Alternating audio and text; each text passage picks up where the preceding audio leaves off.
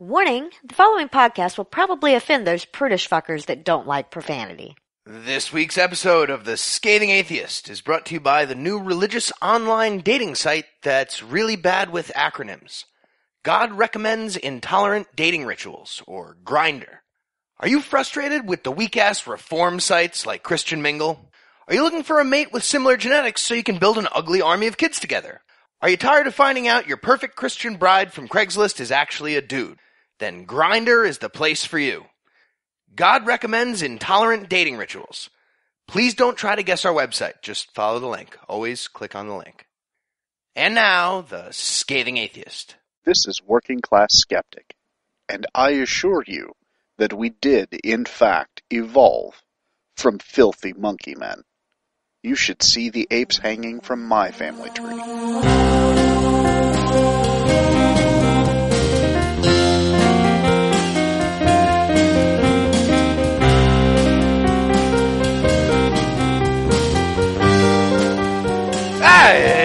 Thursday. It's April 16th. And the word of the day is. Wait. The word of the day is wait. I'm Noah Lugeons. I'm Heath Enwright. I'm confused which show it is, and from another hick in the Walmart, Valdosta, Georgia, this is the Scathing Atheist. On this week's episode, we'll learn how to shit like a Muslim, Barroom atheists learn to stop worrying and love the gay bomb. and the Atheist Avengers stop in to discuss proper villain bantering strategies. But first, the diatribe.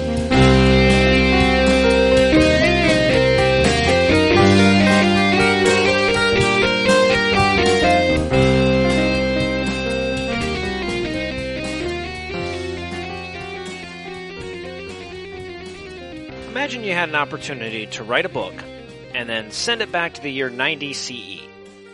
Imagine that right now you had to sit down and start writing, and then a week from now, whatever you've jotted down, that's going to be whisked back in time, like sewn into the flesh of a Terminator or whatever, and then translated for all the people back then to read.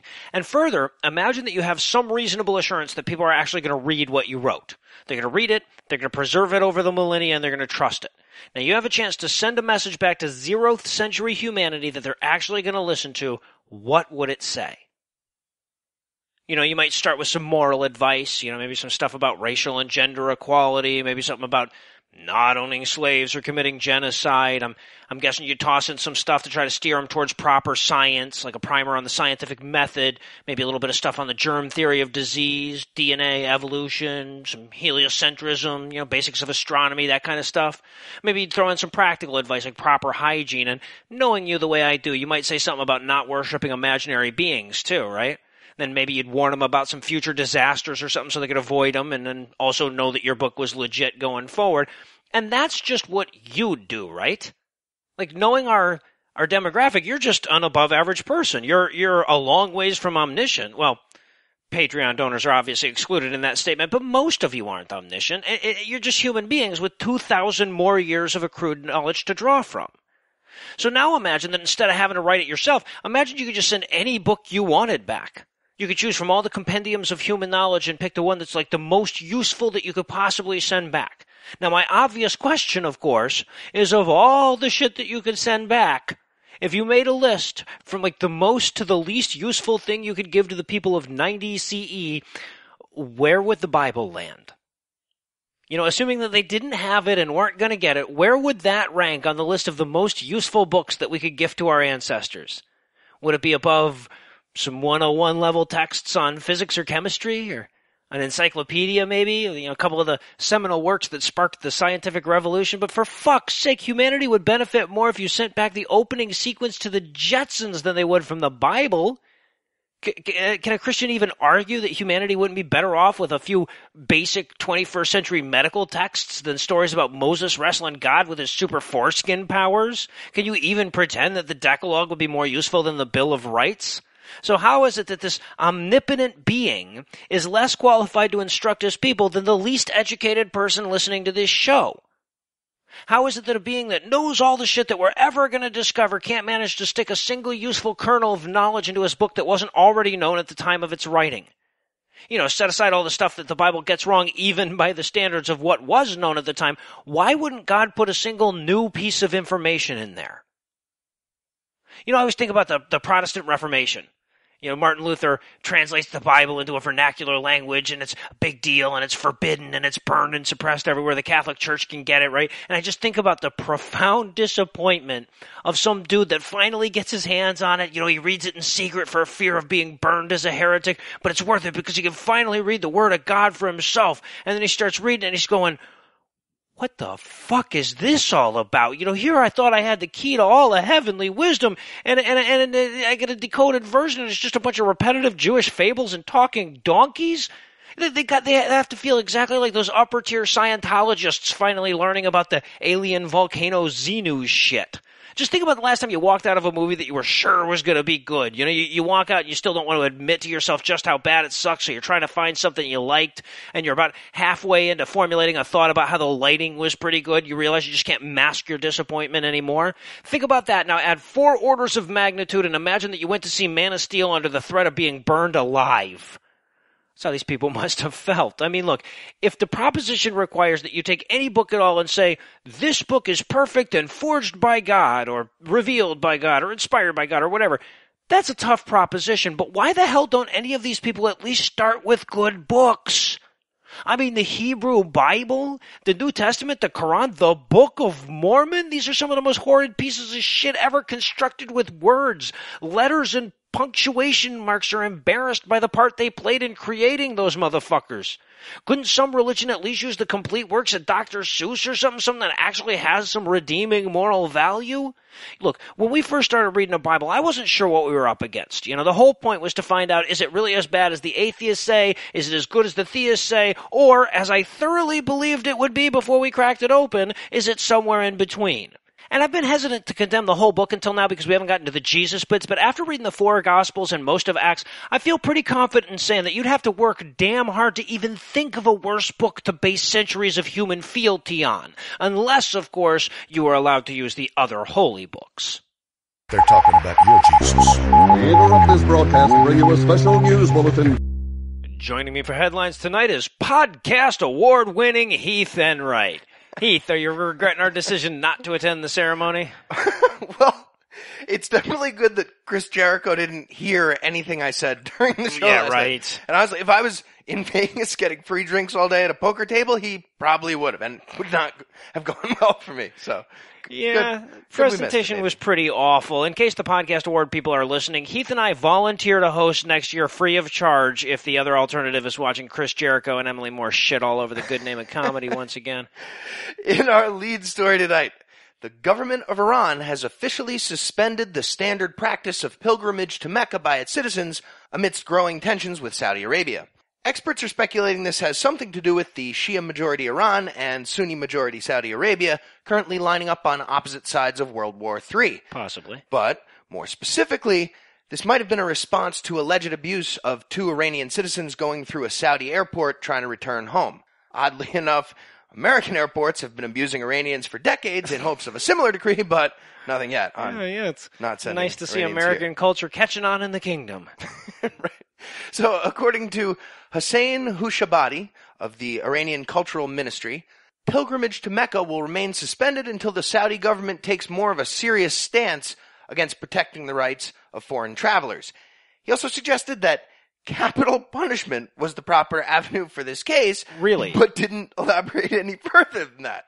And just to translate that, somebody needs to get murdered. I'm not sure Right. who that would be, but somebody's got to get their head chopped off by a government official before we consider Saudi Arabia peaceful enough to visit again. Yeah.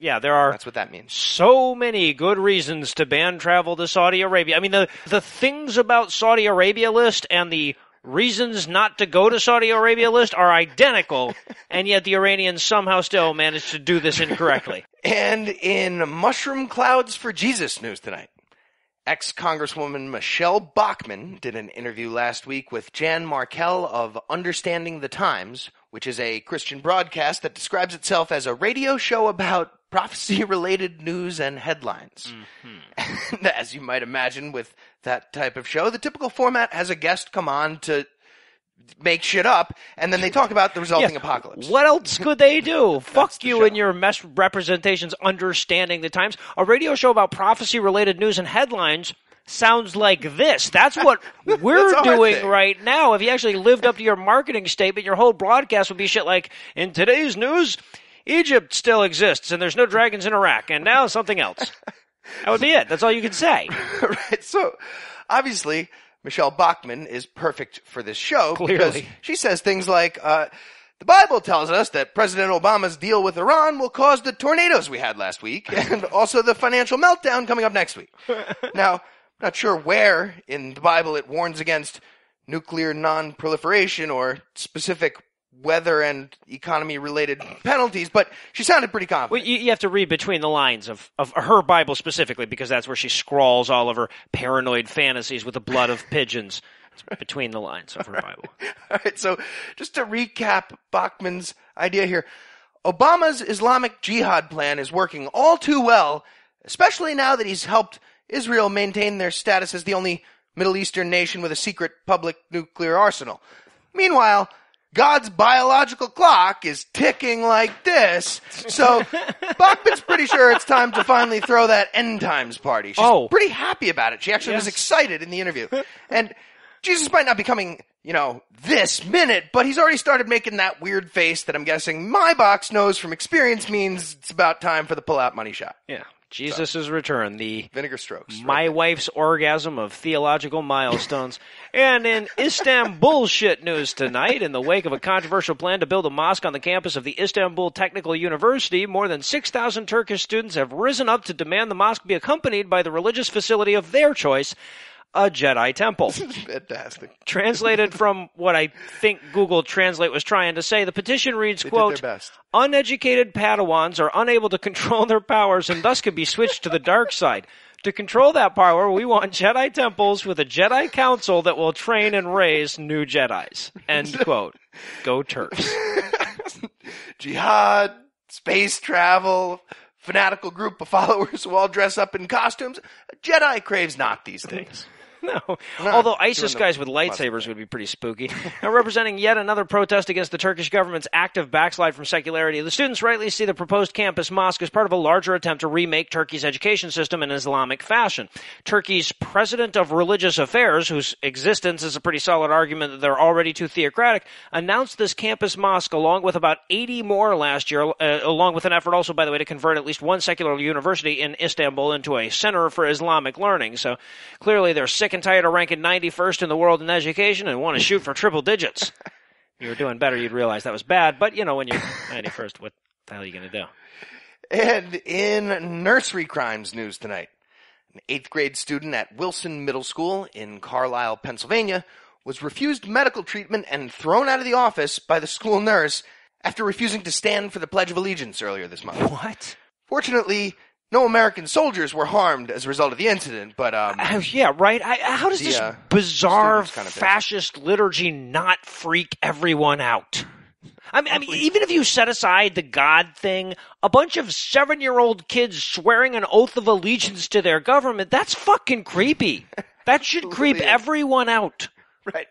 So the nurse, I guess, told her to get up, and the kid explained, uh, well, you know, as you can see, I've injured my ankle, so maybe you could just perform your required job. I don't really have time for extra nationalism at this exact moment. If you could just speak, if you want to get into the case law, we can, but I can assure you, Supreme Court has roundly rejected mandatory talking. So if you want to get, and I guess she was a little too eloquent, and none of that really went over well. right, with the the, nurse is sitting there going like, "Oh, I'm sorry. All I have is American inhalers. Hmm, is there any communist jihadi inhalers? No, no, just these true American Christian one. Sorry, can't help you." right, right. So the kid refuses to say the pledge, and it looks like the nurse responds with something like, "Then get the fuck out of my office." Apparently, yes. You don't have to pledge allegiance to Christian God and a fabric rectangle, then I don't have to provide you medical treatment. Those are equivalent. well, Right. turns turns out none of that went over well either in the grand scheme. In response to the incident, the American Humanist Association, or AHA, Uh-huh. wrote a letter explaining what equivalent means and how those things are not. No. It also explained how medicine, constitutions, and morality works in Wait, general. e- right, and apparently they also had to explain how hierarchy works when the school administrators seem to think that district policy that we're making up on the fly superseded federal law somehow. You guys don't. Why would you think even that you get Right? Just, no.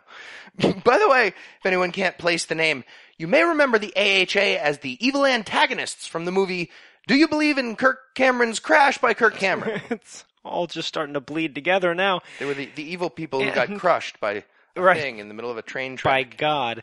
And in Never Go Judas to Mouth news tonight, an unnamed Italian priest so has been fired for making it too easy on Heath and me.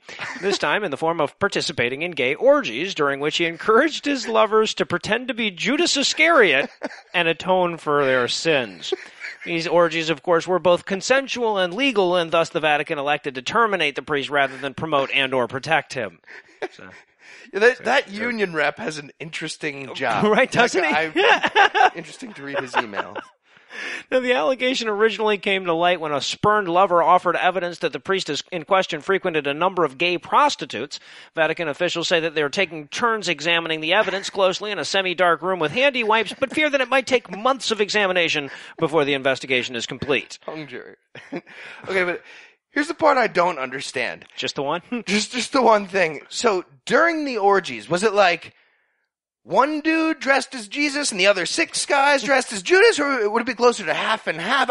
I just feel like it's going to be confusing either way unless you have more characters. You're going to have to get all the how- disciples how involved even in pick who's punishing who? Judas, I do believe. Now, the spurn lover in question also ginger. claims that among the priest's many willing Judas gimps were a number of members of the Swiss Guard, the Vatican's security force that protects the Pope, and already has issues with not coming across as very butch. Pope Frab Fab expressed disappointment in the allegations, telling Italian reporters that he was kind of hoping most of his bodyguards were tops.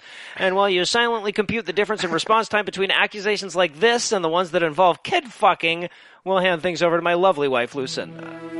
A man wrote the Bible. A whore is what she was. If it's a legitimate rape, It rape, makes you a slut, right? Cooking can be fun. Hey, I'm proud of a man. This week in misogyny.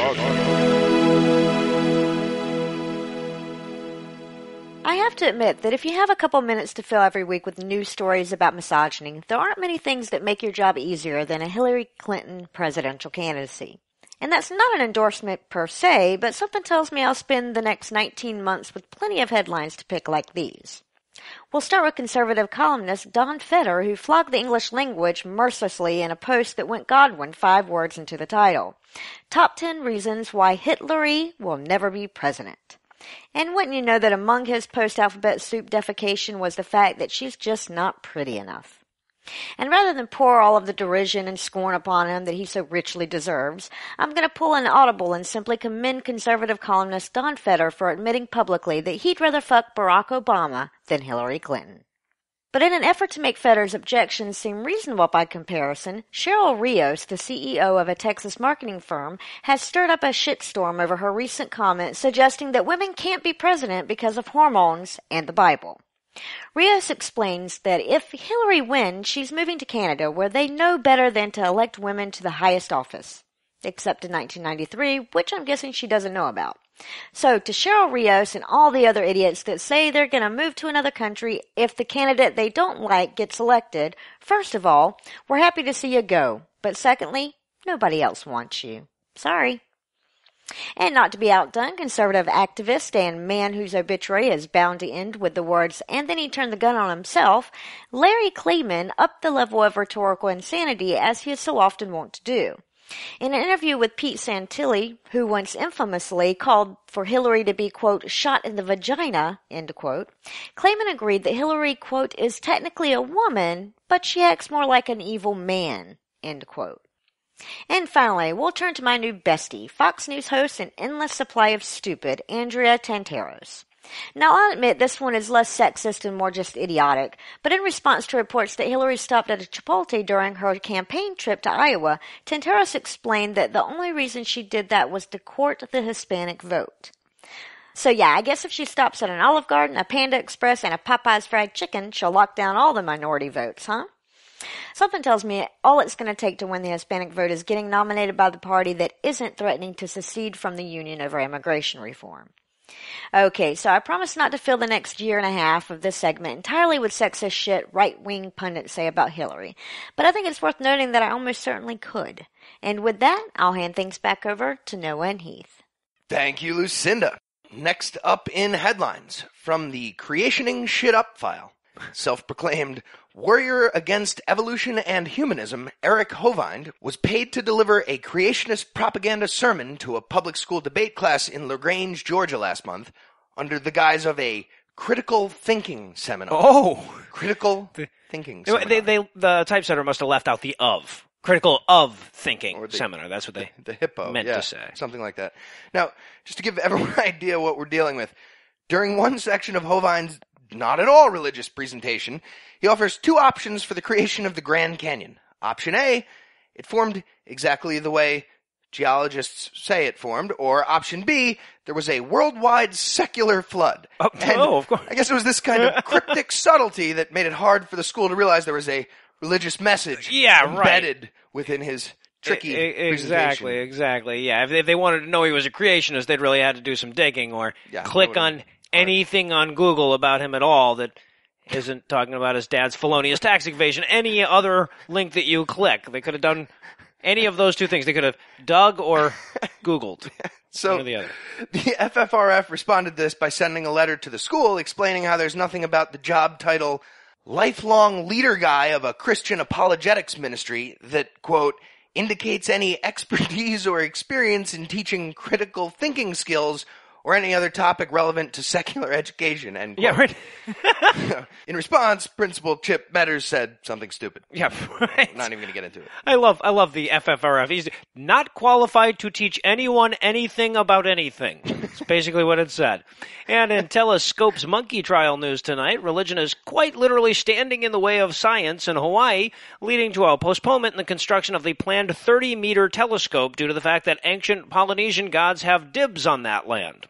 This is only the latest in a series of protests against the telescope's construction, though admittedly most of the previous protests centered around things like uh, that actually exist, like the environment. Uh, but it would seem now that the environmental concerns have been addressed, the opponents, rather than being satisfied their concerns were met, switched to new concerns that can't possibly be quantified, measured, or mitigated. It's, it's just like disingenuous bullshit in that way. It's almost Weird. indistinguishable. Typical corporate imperialism. Same old story. Big telescope, you know, coming in, trying to exploit the environment while they rake in the millions looking at stuff far away for millions. There's a lot of money in those distant photons. Polynesian gods. in a petition urging the consortium of nations and scientists behind the TMT to fur- stop furthering human understanding of the cosmos, superstitious asshat said, quote, truly respecting the host culture of this land means respecting sacred places that the culture has held in reverence for millennia, end quote. So never mind that human habitation of the Hawaiian Islands doesn't actually date back for millennia. millennia. At the earliest, we're talking 300 CE, and even if it did, assuming that a place deemed sacred in the present day has been so for thousands of years in the absence of written or archaeological evidence would be more insane than assuming the Bible is true. But even if you're fucking right, you're still an idiot, because who cares? All right, so I'm just spitballing here. A solution. What if, as a compromise, it became a sacred place with a telescope? It's just both. it's both of those things. Hmm. The telescope guys agree they won't exercise the Hawaiian spirit guy, and you know the locals agree they won't orchestrate elaborate construction worker accidental deaths to make everybody scared. the curse. So it- look, guys. both. Who knew the sacred spirit of the coconut doesn't fucking exist, and thus has no general requirements for where his sacred place is? Could be a broom closet. He could move. Doesn't have to be a volcano. He doesn't exist. Doesn't fucking matter. Massive telescopes, on the other hand, can't be built just any old where. All right, how about if he says something, we'll stop. Yeah, there you go. Or any of them says anything ever. Look, the dark skies and elevation of this telescope would make it one of the top three astronomical observation platforms in the history of Earth, and it can't really be built anywhere else. In the simplest possible term, it will help us see further and know more. That is exactly the opposite of what religion does. And in When Shiite Hits the Can news tonight, Turkey's Directorate of Religious Affairs issued a new fatwa last week declaring that Muslim citizens are now officially allowed to use toilet paper instead of scraping fecal matter from their ass using their left hand and three shit rocks. Which is what they were doing. Which means until now, Uh, either a bunch of Turkish bathrooms had used shit rocks sitting there right next to the toilet, or the other option is people carried around three personal ass rocks at all times in case they were shitting. guys, paper Right? beats rock. You don't need a fatwa to tell you that. But I love that in this system. fatwa, he still stressed that toilet paper, or no, you need to wash your ass with water. Now, look, I'm I'm American. I don't even know how that works without like a bidet or a hose or something. Or do you? I mean, do you just wet the rocks? Do you carry like a disposable washcloth? I mean, but like my thing here is though that if your whole society feels the need to pressure wash their ass crack after every bowel movement, time to start rethinking that cultural diet. on the good side. So I'm sure everybody appreciates the quilted northern option over the three shards of volcanic glass. But as I understand it, the process of using the restroom still remains kind of a pain in the ass for Muslims.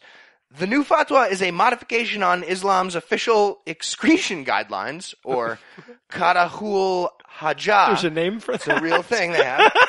But most of these old rules still apply, which includes my favorite new piece of knowledge. Muslim dudes aren't supposed to pee standing up. The rule says everyone has to squat or sit, male or female. They're supposed to all be doing that. What, really? Yeah. All of a sudden, the whole Ramadan thing's making sense to me. They They're have to, just like, doing this so they don't have to the oh, like squat, pee, and clean their asses with a super soaker and granite quite as often. You know, you wouldn't want to eat if you had to shit like that either. Right? So here's a few more of those rules. Oh, please. devout Muslims are still required to enter the can left footed and leave right footed. Guess that's not that hard. Also, they can't bring the crossword puzzle and they're not allowed to look at their genitals. And if they're blind, they're not allowed to read the bumps either. and possibly the trickiest part, now that the ass rocks are optional, they're not allowed to excrete waste while facing toward the Holy Land. So if the direction to Mecca doesn't line up nicely, I guess they have to straddle the tank and shit backwards or, or side saddle. It never works out. So I don't know. I'm just this is an idea. If Israel really wants to mess with their Muslim population, you really want to push that Palestinian border out a little bit, maybe tone down the rockets and just have the backs of all the toilets and urinals face Mecca. Right. Or even better, I was thinking they could have like a constantly rotating 360 degree thing going on. Really fuck with it. Yeah, right. Stop midstream and burns. Or mid shit. I don't know. That would be tough. And finally, tonight from the Just thought. Going Down in a Poof of Smoke file, the host of the Family Research Council's Washington Watch did a commendable job of physically restraining his urge to label his caller a fucking nut last week when a listener suggested that perhaps the Pentagon is using weaponized aphrodisiacs to secretly turn Americans gay. The caller explained that the Pentagon already had gay bombs, which he verified by Googling Pentagon gay bomb, and wondered if perhaps the U.S. government was secretly using such weapons against its own people. well, Google seems pretty convinced. When I typed Pentagon, the third suggestion was Pentagon gay bomb. That was what they were very quickly. I mean, maybe they just knew that was what I wanted to search for, but then it should have been the first suggestion. So It's usually Suspicious. whatever I type gay bomb comes in after. now, I have to admit, when we first saw that the, this particular headline, I was sure that we were just going to be making fun of the guy, but I looked, you know, I took his advice. I Googled it as well. It is on the internet, so it must be true. So to help our listeners cope with the pending gay ordinance attacks, we've invited a few military savvy friends to give us some advice. we did. Bill and Susie host the Barroom Atheist podcasts, and they are both veterans of both the military and losing to me in fantasy championship games. Bill, Susie, welcome back to the show. Thanks, guys. Yeah, appreciate that. You didn't assume that it was going to take long for me to bring up the fantasy championship thing, did you? Yeah, Now- it kind of relates. Yeah, there's there's there's definitely going to be some butt hurt in both instances. So, uh, now, first of all, give us sort of uh, what what are your military credentials? Which which branch did you guys serve in? We were both Air Force, and uh, I'm retired Air Force, and I served almost five years. Oh, right on, right on. Awesome, awesome. Well, I thank you for your service, but if I'm thanking you, that probably just diminishes it when other people do it. Now, I have to ask, um, because your service, if, if I'm reading this correctly, seems to overlap with the development of these gay bombs. So when you were in the military, did you ask and were you told about gay bombs? And, and sub question: If you did have to ask, how were you able to afford it? Your, the gay bomb that you bought. actually, I predate Don't Ask, Don't Tell. Do you really? Uh, yeah, that was Clinton. I came in under the first George Bush, so they asked. They made you fucking tell. oh, right. Now, you were not an atheist at that time, right? Because atheists weren't real Americans under the first George Bush. That's Right, correct. yeah, I was true. a closeted atheist who are kind of real Americans. Did they have the gay bombs back when you guys were, were in the Air Force? Absolutely. Okay, are, so it's, it's a real thing. Okay. now how do those differ from from regular ordnance? Well, see, if there's say if they release a nerve agent on you, everybody yells gas, gas, gas, and gets in the hole. Now, if it's a gay bomb, they yell ass, ass, ass, and you have to dive in the different hole. communication system makes it Right, so Well, it's a different not warning gay bomb, system, right? Okay. and different detection too. With a nerve agent, you use like a chemical litmus paper. Mm-hmm. With uh, the gay bomb, they issued us a picture of the first lady, Barbara Bush, at the time. and if she started to look hot, then you're you're Barbara Bush naked on a cold day. your chick meter was starting to swing toward dude. You know what I'm saying? now, of course, not everybody has a, a picture of Barbara Bush um, that they can easily access. So, of course, we do have a national gay bomb defense warning system. It's kind of like the regular bomb raid siren, but it has a lisp. So, tell us, what should we do in the event of a gay air raid? Okay, Great we, question. we were trained on this, and actually, if you are ever confronted with, with a uh, Charlie Oscar Charlie Kilo, we had an acronym for it. Of course.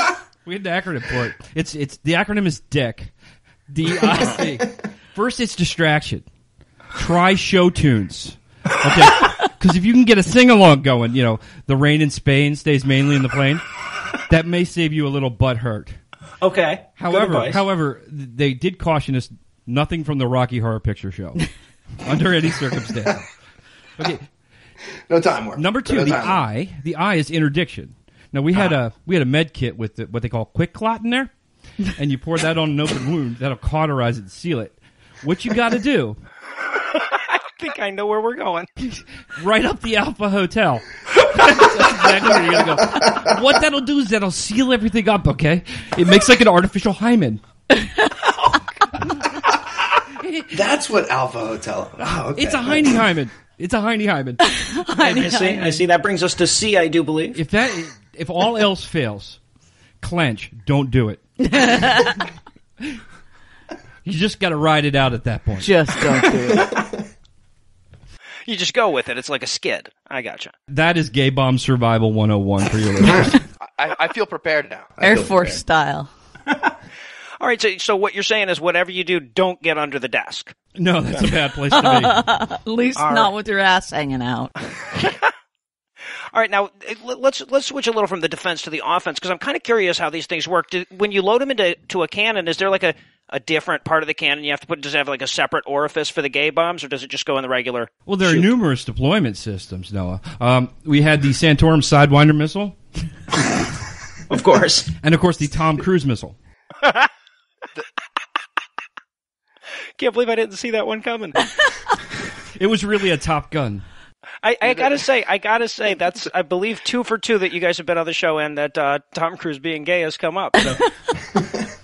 it really, to me, it kind of lays bare the nefarious motives that were behind the push to allow gays in the military. I thought that was progressive, but now I see that if if one of these should accidentally go off, you could lose an entire elite squadron if you didn't change that policy. Well, I was at the testing of these things when they first started testing these gay bombs. It's funny because they only used women to test them on, mm-hmm. and all the senior officers needed private viewing areas. I don't know why. Awesome. Now, okay, so I do want to switch this to an atypically serious note here. Why do you guys think that gay rights has become such like the front line for the theocrats? It seems like they're putting all their chips on the let's keep the gays from getting getting rights uh, uh, portion of the field, whatever that is. And, and I'm curious if you guys have any thoughts on that. Like, why has it become such a big deal? Uh, or or why has so much of the, the Christian focus Priority, gone yeah. that direction now? because they've lost everywhere else. They can't force you to pray in schools anymore. They can't.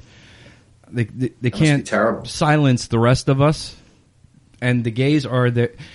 Whenever you're trying to get a movement going and get people angry, you need a villain. The Nazis had the Jews, and I'm not drawing this as a direct correlation, so let's not say I'm Brian Fisher. You haven't quite gone God. I'm not Brian Fishering, yeah. Um, but you need a villain. That's their villain. Is is the gay community, the homosexual agenda? Ooh, the gays are going to get you. The gays are Mm-hmm. after your kids, and it's frankly bullshit. And it was bullshit when I was in the military. And one of my happiest days was when they did away with all that. Uh, don't ask, don't, Don't tell ask, don't tell bull. Yeah. Yeah, I mean, I was retired by then, but I went out and celebrated. Glad to hear that. That was such a half-ass measure in the first place, and it's amazing that that represented at least something of a step forward. It, it, it's it's so bad, in fact, that as I was reading this story, it struck me that that this whole concept of a gay bomb is actually that would be a step forward in Christian attitudes toward gays because at least then they would be admitting it's not a choice. You know, like this is actually better than their normal bigotry. Well, they were standing on like the North Pole of bigotry. Right. Gay bomb might have been the dumbest way south of all their infinite choices, but they did head south. That's true. It's a baby step. What would that even look like? Freaking gay bomb. Hello, I've got a feeling that love is here to stay. Rainbow sprinkles coming. Yeah, right, right, exactly. They're All magically right, well, delicious. Bill, Susie, thank you so much for lending us your expertise and telling us, uh, you know, exactly what'll happen with uh, this gay bomb that's probably going to happen. So, before we close things out, by any chance, could you spare another half minute or so to discuss the exact details of what we can expect from World War Gay, which is about to happen? Yeah, we're in. Excellent. We'll need 30 seconds on the clock. Ideas for the militant homosexual army. Go.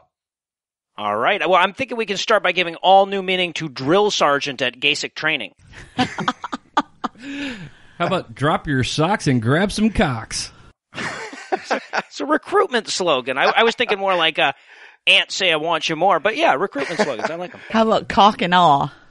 Oh, of course. Obviously. All right. Uh, I'm not familiar with that, those, but I wish uh, I was. For for those people who know a couple of details about World War II history, what about the uh, the Enola Gay Airmen dropping little boys into Japan and turning the population gay since 1945? Wow. We know how to abomination. Congratulations. That was offensive for a Hiroshima Apologize joke. to several groups for that one. Just kidding. That's awesome. Of course, we you know we have to have some some weaponry for 'em, and, and I understand that if you carry a a gay K47 and a 22, that adds up to 69. So they'll probably like that. Nice. Well, I, I think you know some of the things in the military you know, kind of give you an idea that they've already been used. Like, do you know a Marine Corps Master Sergeant is actually called Top, oh, really? and they call the bathroom the head. Well, that's true. Yeah. So you could meet Top in the head. and something with private pile and I don't, I don't know. There's something. Yeah. what about uh? What about the Queen Beret Commandos? Oh, of course. Rainbow Coalition forces reach around front after flanking from behind loosens resistance. Is what the headline might be. quite quite complex there. And of course, you know, if you're going to have a gay army, they're going to have plenty of seamen. So maybe the Gravy Navy. Their slogan could be "You spunk my battleship." And if, if they have to attack a female-dominated area, they could do some carpet munch bombing. Well played. Of course. Speaking of which, how about uh? Orange is the new Blackwater, the lesbian ex-con mercenaries for hire, Of course, yeah. formerly owned by Prince. They can't manage Eric a pincher Prince. movement, but they're great at the scissor.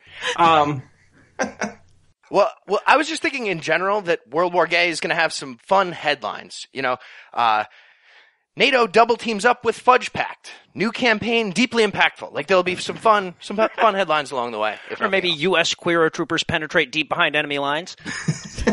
Brigade's epidemic worsens as Pentagon struggles to defend discharge of the White Brigade. See, now I was actually originally going to do something with the uh, with a klitzkrieg, but I decided instead that that's just going to be my new term for female genital mutilation. That's oh, God. Do, do you need a new term for that? You can't just the stick with- stick with klitzkrieg. I think that's just a little snappier. Yes. What about The Lower Manhattan Project. Village people achieved larger ass blast radius than anticipated. and as usual, ICBM. I, Wow. So this is going to take a while. You have, you have to catch up with that joke. There was a lot to process there. Okay. Oh, sorry. All right, now we go. You were right. It took a minute. And, And then of course- shit at the la- yeah. If you'd like to hear more from Slow Bill burn. and Susie, be sure to check out Barroom Atheist, which you'll find linked on the show notes for this episode, or come see him in person at ReasonCon in Hickory, North Carolina, the weekend after next, like we'll be doing. You guys excited yet? we're excited. I'm It's going to be so fun. I'm actually looking forward to meeting Tom and Cecil in person, despite all the things that they've said to suggest that I shouldn't be looking forward to that. Yeah, me too. Who? you know the, those those two other those guys, guys. that I Yeah. told you were were had such bad language you can't listen to them. Oh, so I'm glad to share that distinction with them. Again, guys, thanks so much for coming on. Thanks for Appreciate having us, guys. Noah. And when we come back, Wyatt and Love from Atheist Avengers will be here to try to get you as fired up about ReasonCon as the rest of us.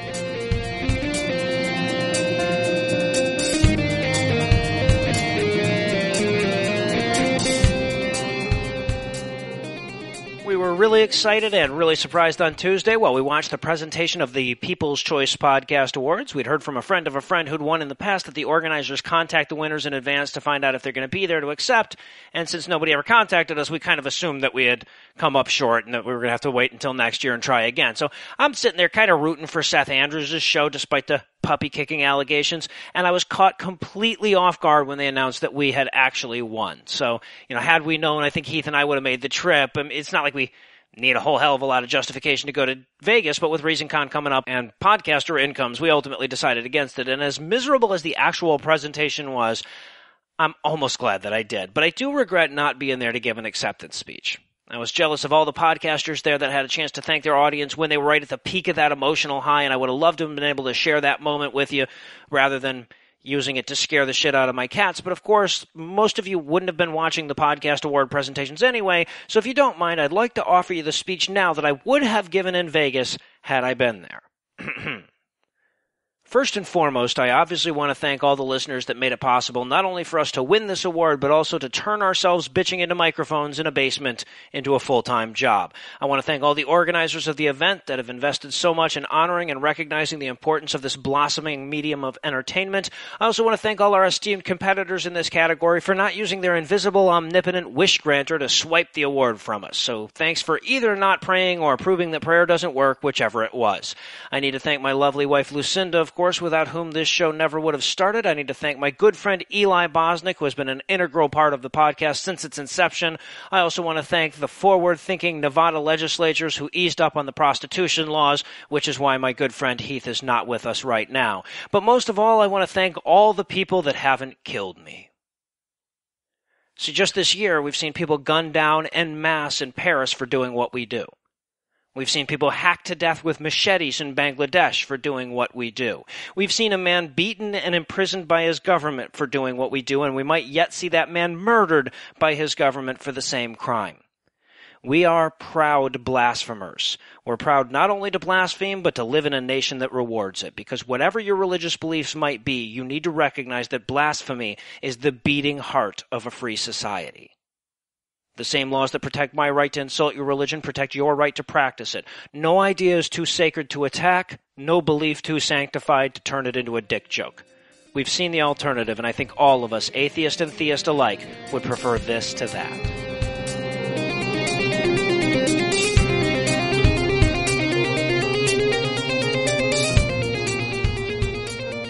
Very excited to double our guest total count tonight by welcoming on a couple of my favorite superheroes, the Atheist Avengers. Love and Wyatt host the Atheist Avenger podcast. They're both tireless secular activists and, of course, two of the driving forces behind Reason ReasonCon 2 in Hickory, North Carolina. Love, Wyatt, welcome to the Scathing Atheist. Thank you very much. It's Thanks great to for be having us. Oh, you bet. Now, first of all, Love, last time I spoke with you, you were just Love. You are now Captain Love, so I suppose I should congratulate you on the promotion. Thank you. Yes, it's um that pay bump was was really important. Let me tell you. Much deserved. And, and Wyatt, last time I talked to you, you had a different name altogether, but we'll keep secret identities out of this. Uh, yeah, let's do that. We'll just- Definitely wasn't Clark Kent, y'all. All right, so Incognito. there we go. We're good at that. We're good at that. Now, you guys are the Atheist Avengers. Tell me, what exactly do you avenge? it's a hard hitting question, isn't it? yes. I'm not giving you guys softballs now. Come on. I, I was I was waiting to see if she took this one. Uh, um, I like uh, I like looked at him and I was like, wait, what? well, you know, there's there's a lot, especially in our area, there's a lot of things to be avenged. Um, back when we had the shootings in North Carolina, we had we took a little bit of flack for using the word Avengers because uh, typically people think of that as an, a violent term. You're you're when you're avenging something, you're you're avenging violently. Uh, but of course we don't use it that way. We mean it to basically stand up for the little guy who may be persecuted and oppressed. And, and a lot of times, uh, people of non-faith end up being that. It's bizarre to me. You know, I used to be one of the chairs for the, the Secular Coalition for America when I lived in North Carolina. And these bills would come across my desk. And I, I really thought when I first started the job that somebody was like punking me. I, I really thought they were messing with me. It was like, oh, let's screw with the new girl and, and, you know, send these crazy bills across her desk and see if she buys it. And so I really thought they were messing with me. And I was like, all right, guys, you know, it's funny. You guys have sent me a few now. I get it. Ha ha. You know, you've broken me and let's get serious. And they're like, um, no, those are actual bills that are being put forth. And I was just like, what? Like, who comes up with this crazy stuff? Oh no, I know. uh, Just since we've been doing the show, I know we've had the, yeah the bill where um they, they tried to declare uh, North Carolina a Christian state. The the Bible's come up as the state book a couple of times, and of course, like you said, the, the, yeah the, the shooting there. You have just constant fights over monuments, etc. So, uh, but uh, glad to know that there are a couple of folks like you in the Carolinas doing that kind of work. People ask me constantly, why would you guys live in a place like Georgia? And I say, well, that's where we're needed the most. Absolutely. Absolutely. That's exactly what I say. I mean, uh, cause they need me here. And, uh, this is my home. This is where I was born. This was where I was raised. And I really see the need here because when I was first transitioning out of, out of religion and, and, and trying to get information, I, I- where did I turn? I didn't have anywhere to turn because nobody, even if they thought the way I did here in North Carolina, they certainly were not talking about. it. Right. Those people are here. See, that's the mm-hmm. thing. There, there are atheists that go to church every Sunday because it's a social thing. It's a community thing. They feel like that's what they're supposed to do. I was there. I did that for a long time after I was starting to question my belief. Well, see, I'm I'm really glad that you brought that up because I feel like you know, obviously, for those of us that came out of religion or or were non-religious in a very religious area pre-internet, it was a completely different world.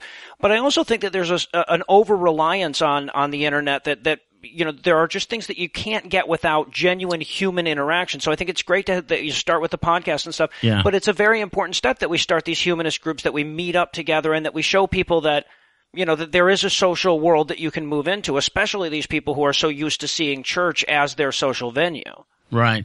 And, and I agree. Uh, it, it doesn't, it can't just stay an online thing. It just can't stay me in my room listening to podcast, being energized and not doing anything with it.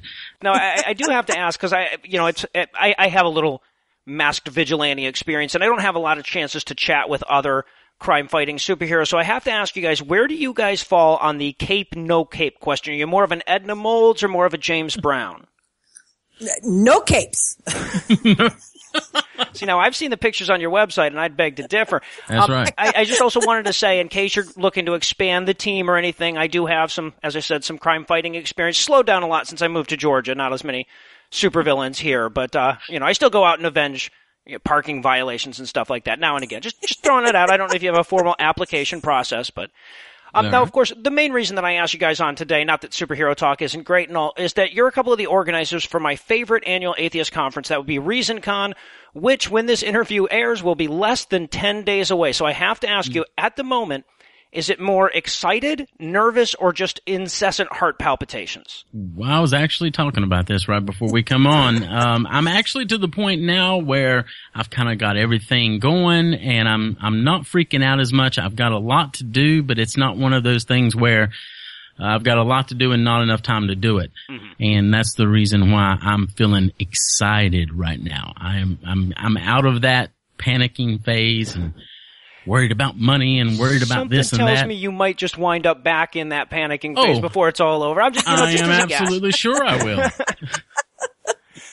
I feel good. I, I'm totally relaxed, but I don't have to do shit. So, um, Oh, you will when you get here. Just right, wait. right. no, it's it literally like the uh, the whole planning, organizing, doing why it's done everything. I you know I I try to promote it, but I don't actually have to do anything till it starts, and then that's when I'll be having to work my butt off. so. 72 straight hours of no sleep and a lot of drinking. You know, if, if it was, if it's anything like it was last year. Um, I've been to a few of these conferences before, but, but this one, like, it, it, it was so much more personal. You know, there were so many efforts to give everybody a chance to interact with all the speakers and meet everybody. So Right. what are you guys going to do this year to, to keep that going, to make it personal again? So we've got the speakers. That's going to be a pretty intense, uh, just like it was last year, but there's going to be breaks and there's going to be times. We're having a lunch in the park. Field trip. We're going to have a field trip. We're going to have some good North Carolina barbecue from Oh, I like Hannah's that. Barbecue. Oh yeah, it's going to be awesome. Now, I, I apologize if this is like asking you to pick a favorite kid or anything, but is there like a particular talk that you guys are really looking forward to, or? Oh, well, no, I can't possibly pick one. I'm just absolutely excited about them all. You know, there's, uh, it, it's so diverse. We've, we've got several different feminist uh, type activists. Uh, then we have David Fitzgerald there to talk about the historicity of Jesus and, and he's going to be doing a talk titled, uh, sexy violence, violent sex. Come on. He's one of the nicest people you'll ever meet. He's got a great sense of humor and he's a lot of fun to have a drink with. So I'm super excited about that, that he's coming this year. That, that's awesome. Awesome. Well, no, I, I gotta say, I don't have to worry about stepping on anybody's toes because I'm just gonna be rude and everything to everybody anyway. Um, so I'm really looking forward to seeing Tracie Harris again. She gave such a good yeah. talk Oh, yeah. last year. Really glad to see that she's coming back. Now, uh, okay, so it's hard for me to imagine that anybody listening in isn't already salivating at their chance to head to ReasonCon, but on the off chance that somebody is still unconvinced, give me the hard sell, guys. Why should I, the random scathing atheist listener, go to ReasonCon? this is actually a, a community building conference. It's a rah rah session. We're getting together to kind of pat each other on the back and say, Hey, you're doing a good job. I appreciate what you do. Keep on doing it. Sounds good to me. We need a pep rally now and again. Absolutely. And to me, it's like a family reunion with all your favorite relatives. That's right. that to me is what ReasonCon is. Um, it's, it's where I get to hang out with my favorite people in the world and just be myself and, and to get to share ideas and just hang out with each other. So yeah, to me, it's, a it's a family reunion with my favorite relatives. Okay, so for the people, for the listeners out there um, with families like mine, to me it was nothing like a family reunion. So That's what I was thinking. maybe, maybe- maybe I should say without crazy Uncle Bob and his handgun. Yeah, like I said, yeah. my favorite relatives. Um, yeah, that would yeah. be you could fill a booth with uh, my family reunion on those guys. All right, so uh, now we've just got a couple minutes left. If if anybody's listening, they haven't already picked up their tickets for ReasonCon on Saturday, April twenty fourth in Hickory, North Carolina. Where should they go to find them? They should go to reasonnc.com. ReasonNC. Get that VIP dinner ticket. Uh, Worst case scenario, get your standard ticket and come out Saturday and join us all day and party that night. Excellent, excellent. Well, Wyatt Love, thanks so much for your time tonight, all the time that you've put into the conference, and of course for all the avenging. Thank you very much. Absolutely.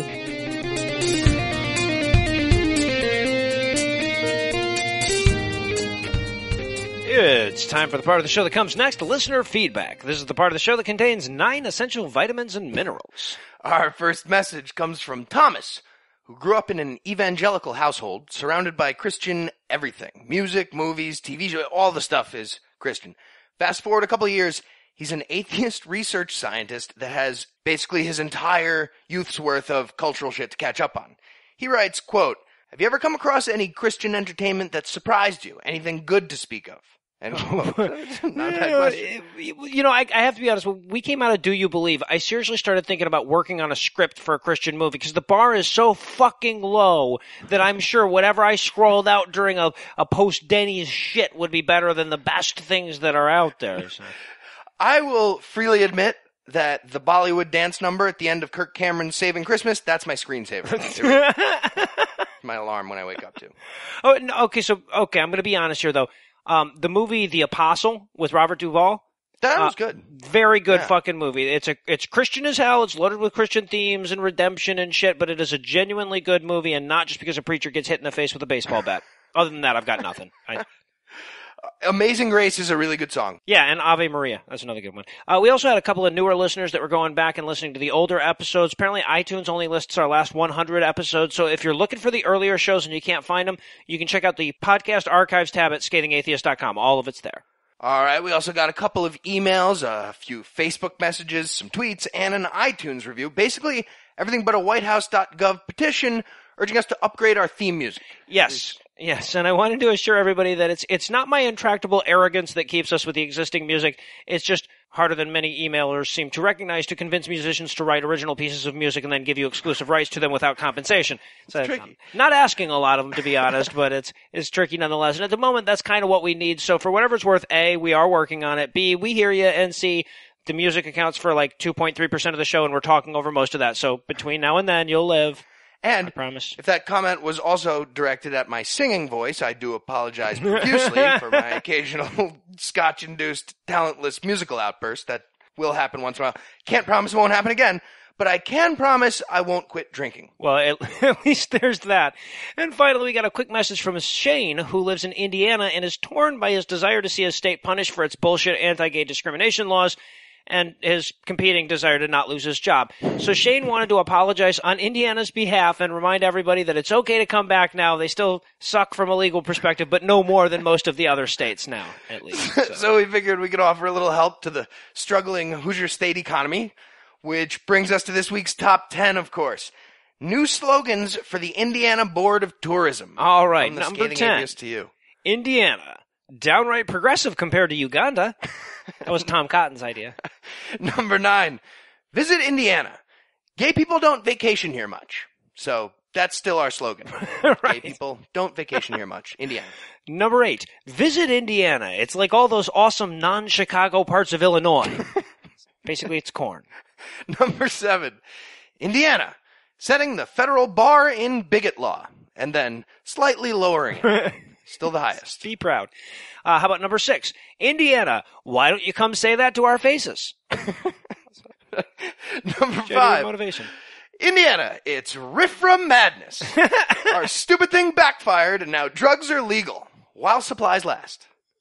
Then bring them in. Indiana. Uh, number four, Indianapolis. First our conference championship game balls, and now our fucking economy. Give us a break here. Just can't win. Number three, welcome back, gay people. Now you don't not have rights except sometimes, just like before. You're welcome. Status quo. Uh, number two, Indiana. Like you were really planning a vacation here before RFRA. Give us a fucking break. I'm not buying it. And the number one new slogan for the Indiana Board of Tourism, Indiana. They can live here, but we don't care if a queen said it or not. We will not let them eat cake or draw anything that they want on the side of one. Indiana legislation. Top Less one, progressive than Marie Antoinette. Wow. She'd at least have given them the fucking cake. And that's all the feedback you get. If you want more, keep sending us those emails, tweets, and Facebook messages. You'll find all the contact info on the contact page at scathingatheist.com.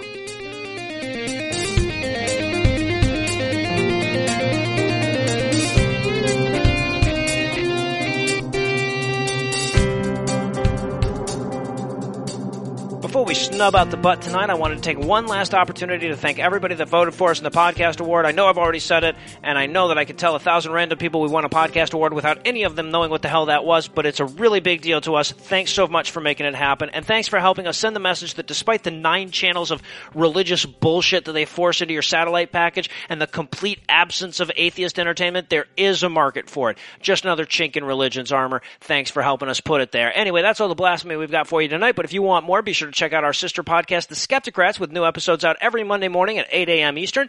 You can find it on iTunes or you can look for the link at scathingatheist.com.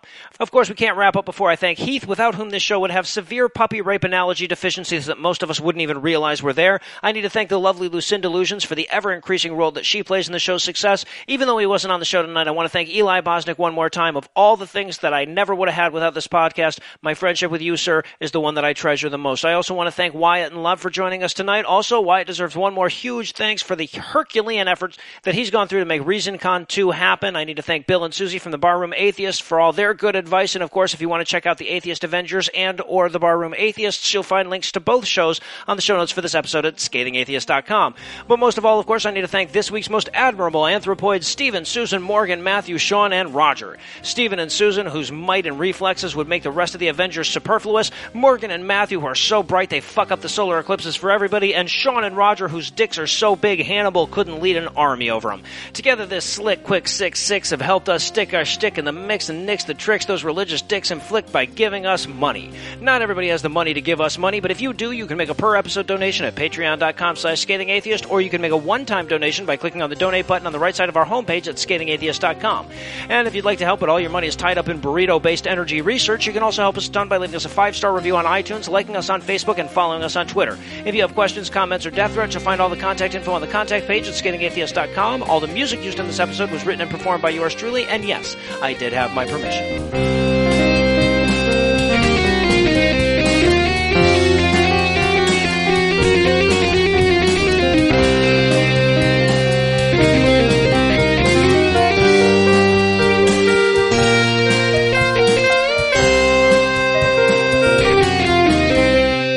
Guys got anything else? No, I'm done. Oh, all right, all right. Well, I believe, if I'm not mistaken, I believe Heath has like six or seven more up his sleeve. I mean, I was going to mention that they call their vehicles Hummers, but you know. Well, of course, yeah. That's that's true.